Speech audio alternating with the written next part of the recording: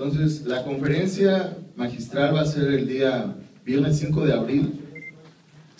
eh, con el título Educación para la Justicia Social, retos para la educación de jóvenes y adultos, y el evento se llevará a cabo en el claustro del Centro Cultural San Pablo a las 12 horas del mismo día, viernes 5 de abril.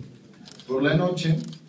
le entregaremos a nombre del Instituto del Gobierno del Estado un reconocimiento a la maestra, a la doctora Silvia Merkel y vamos a contar con la participación de directores de diferentes estados de la República Mexicana por parte del Instituto Nacional de Educación para los Adultos y por parte del Instituto en los estados para que eh, sean testigos de este tan importante evento.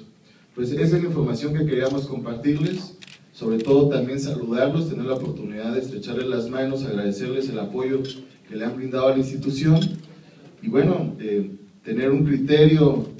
académico referente a los temas de la, educación siempre es fundamental. Por ello nosotros creemos que esta conferencia va a ser muy ilustrativa para cada uno de nosotros, pero representa para el instituto una gran oportunidad. Hemos ido practicando por mucho tiempo el tema de la educación para los adultos, lo hemos ido estudiando y el día de hoy estamos en un nivel de preparación que nos permitirá pues tener una mayor participación, una participación decidida, más preparada y aportar como gobierno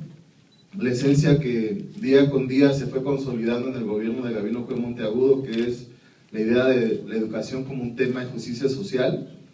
y que bueno, es tan relevante en Oaxaca y por ello queremos que ustedes también nos acompañen el día 5 de abril a las 12 del día en el, en el claustro del Centro Cultural San Pablo para escuchar esta conferencia que sin duda dejará eh, análisis muy importantes para nosotros.